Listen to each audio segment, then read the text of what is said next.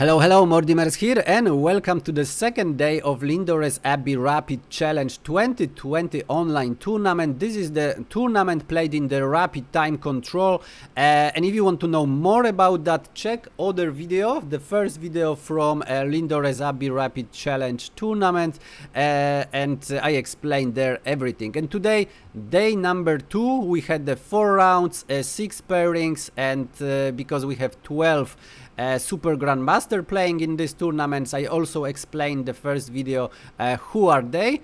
Uh, and I would like to show you the game between Jan Krzysztof Duda, Grandmaster from Poland. His rapid ranking is 2774 and his opponent today, Magnus Carlsen. Magnus Carlsen, triple world champion. He is number one uh, in rapid as well, and he's ranking 2881. Uh, Duda gonna play as white and Magnus Carlsen as black. So without further ado, let's see what happened on the board. Duda opens with c4 English opening, and now we have e5 King's English variation, knight on c3, knight on f6, knight on f3, knight on c6. So a four knights variation.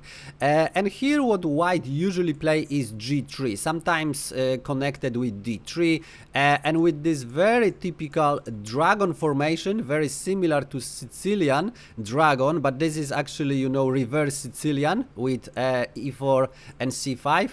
Uh, that's very one of the ideas uh, in this opening.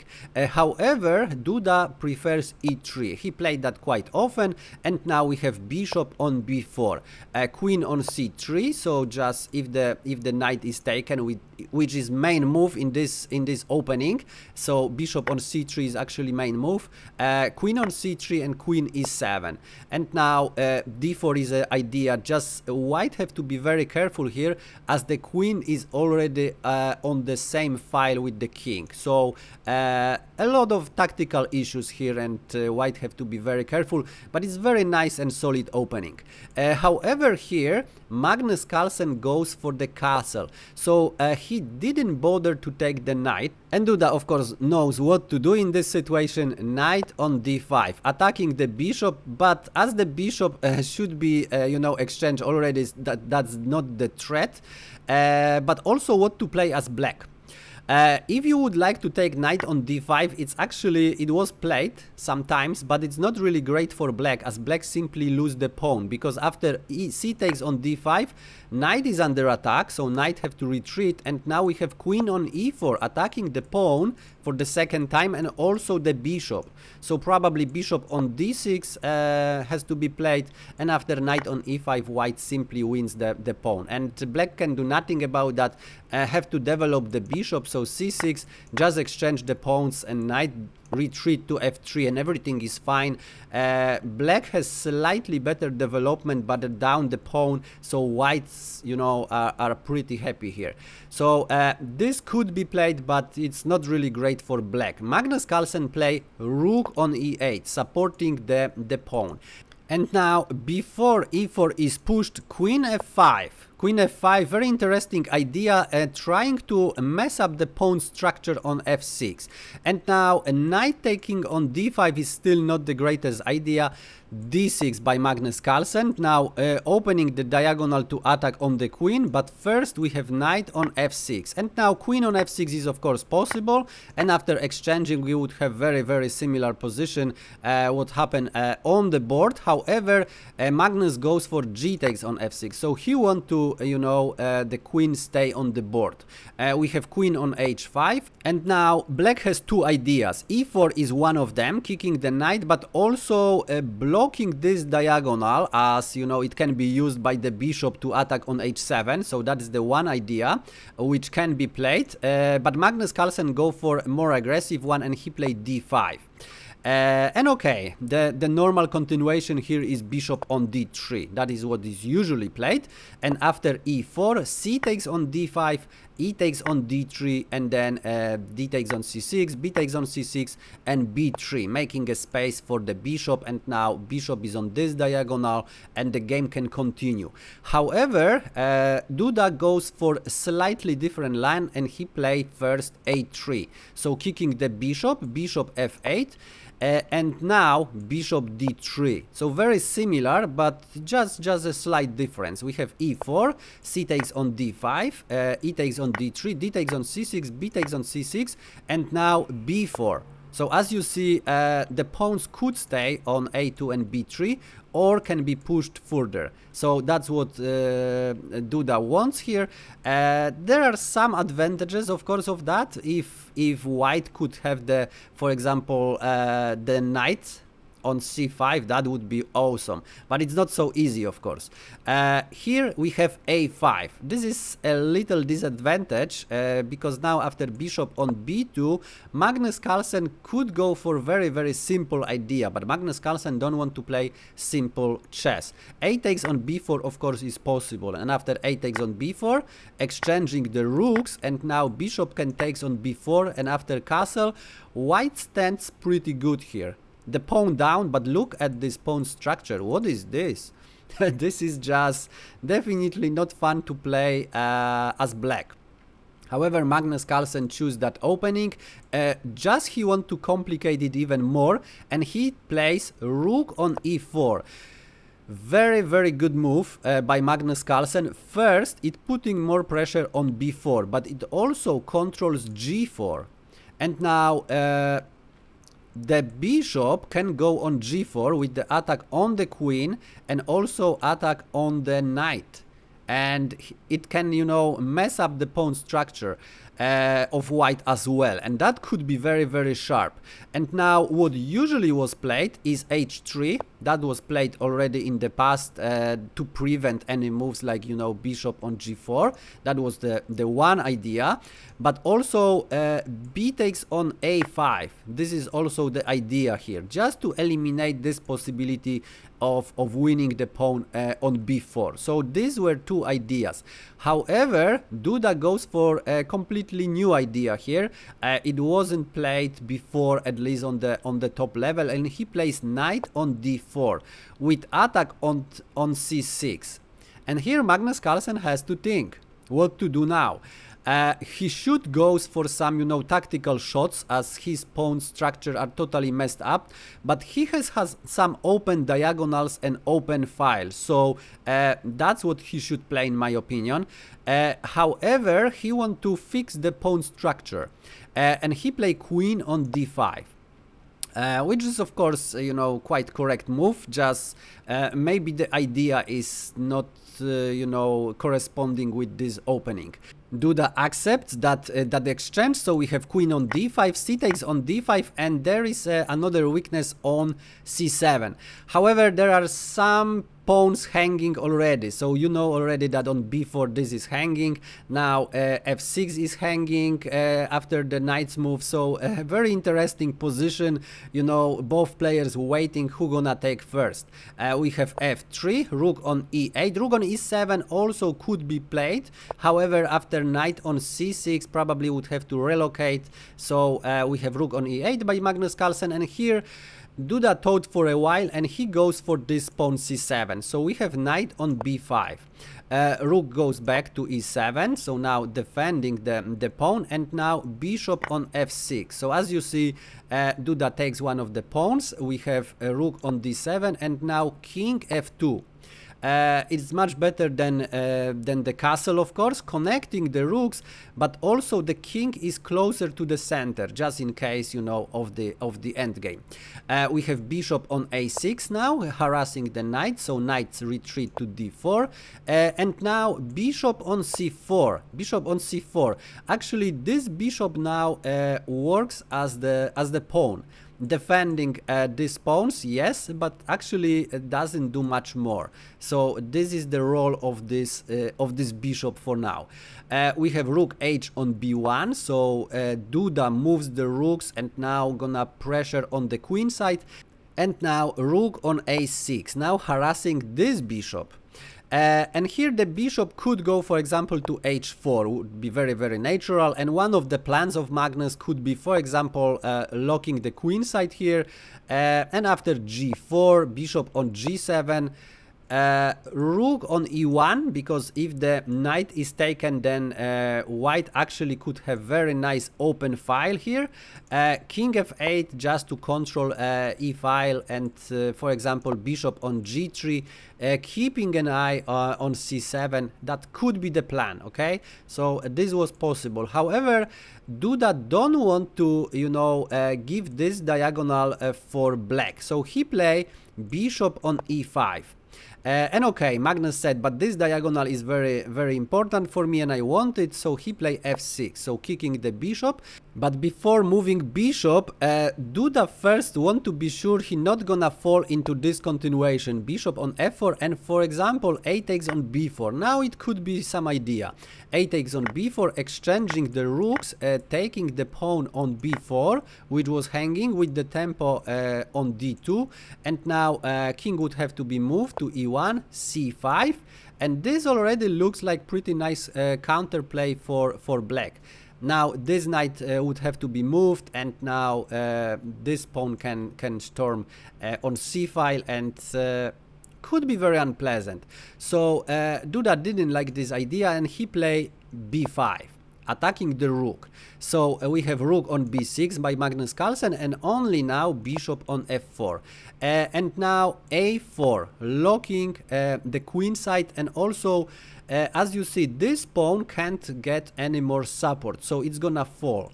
Uh, so Duda has nothing to do here uh, and now he starts to attack on the king side. So we have g4 uh, bishop on c5 now uh, trying to eliminate the the knight and now we have h4 uh, king on f7, the knight's definitely not going anywhere.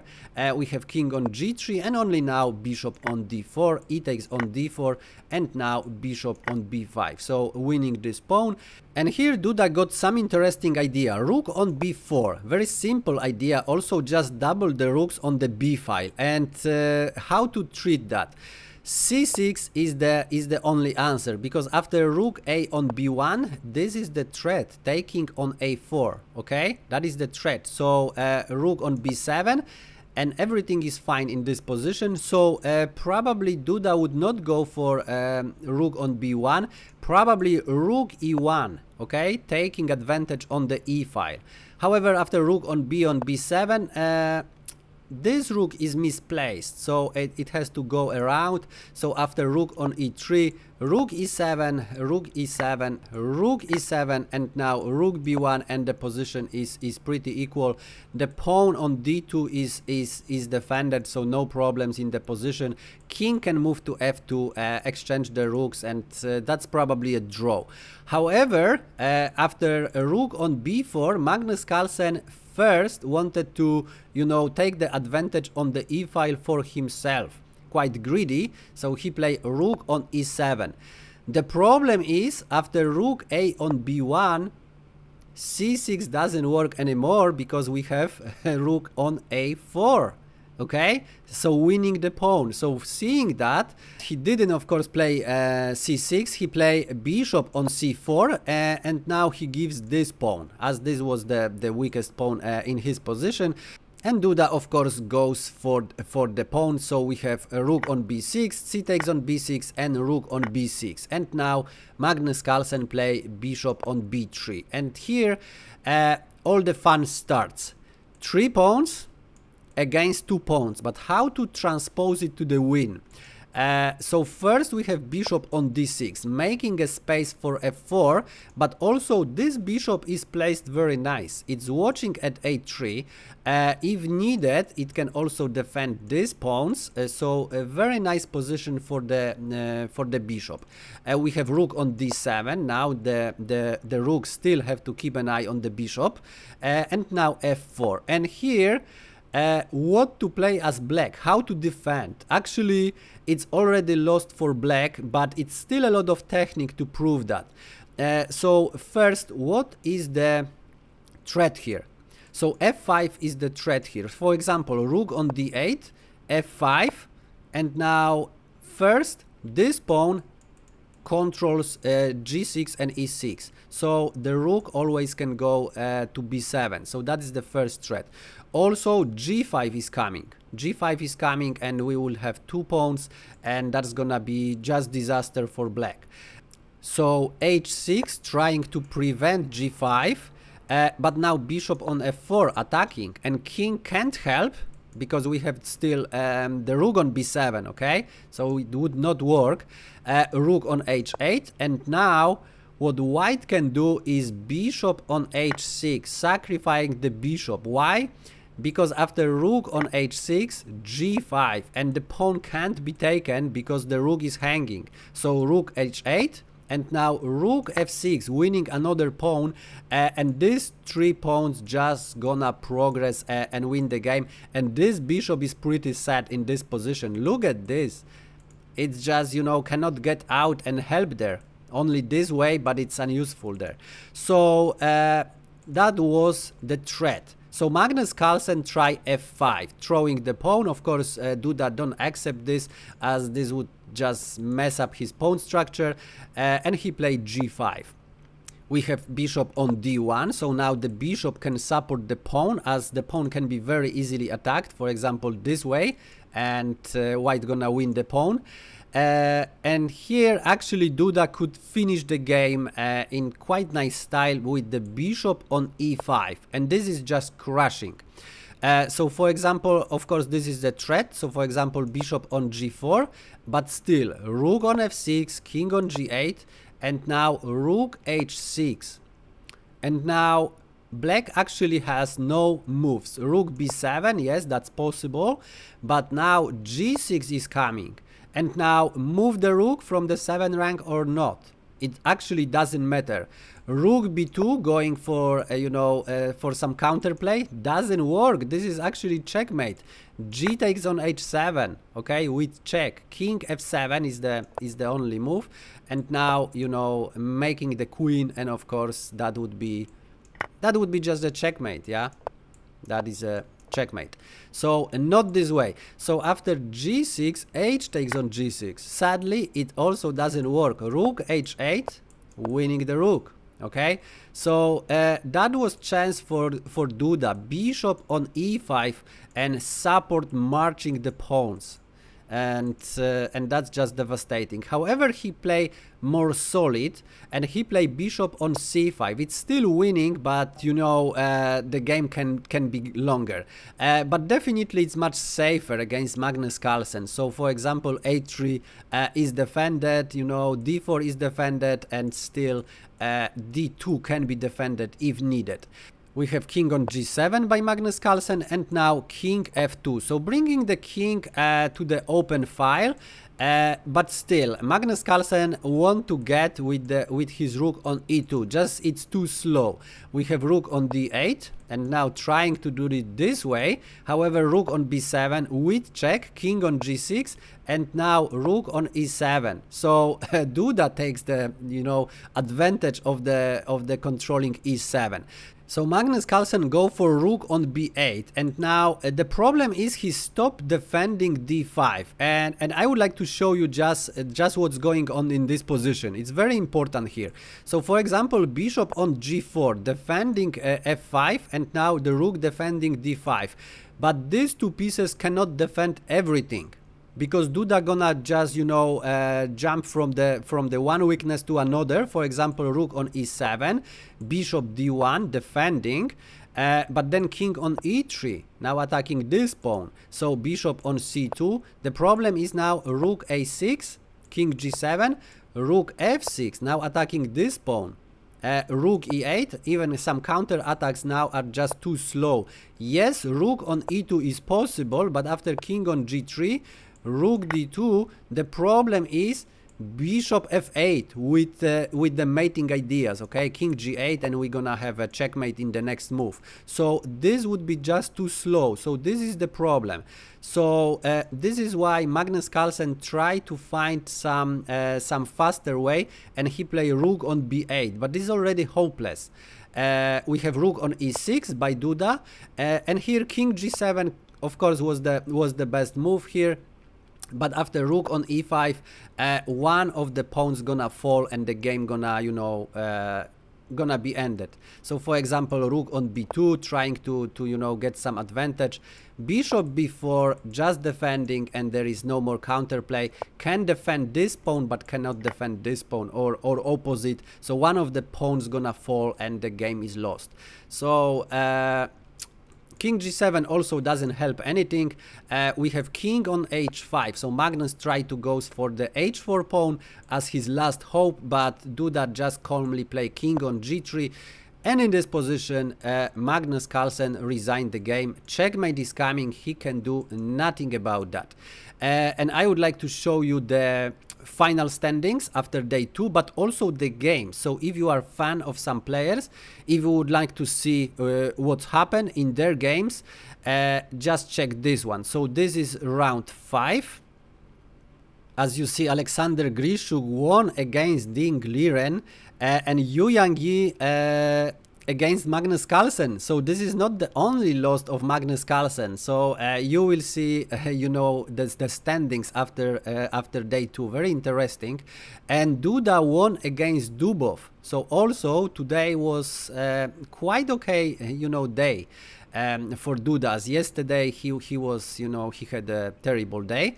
Uh, round six, as you see here, uh, Dubov won, uh, Firouzja won against Duda. So uh, very, very interesting. Carlsen, Aronian won also. Uh, and then we had the round 7 where uh, Yu Yangyi won against Ding Liren. So as you see, Ding Liren not doing really, really good.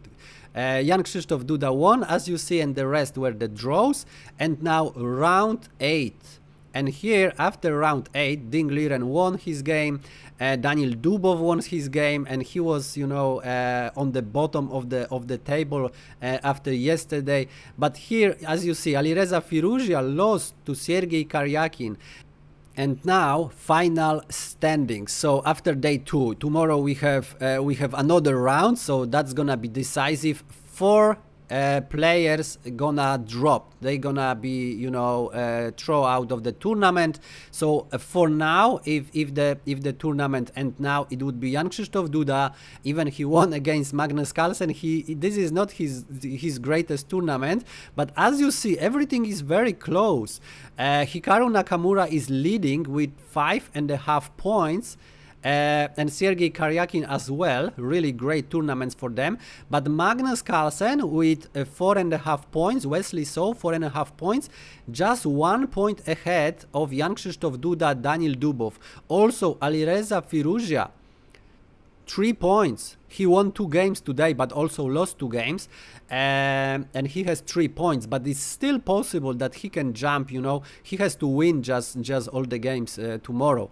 Uh, Wei probably not gonna uh, qualify anyway. But this is very interesting and. Uh, tomorrow rounds gonna be very very exciting. So if you don't want to miss the games tomorrow and if you like the style uh, you know i present and and i show you all the scores and standings and uh, and the games. Uh, press subscribe smash the bell button. Thanks for watching and see you in the next one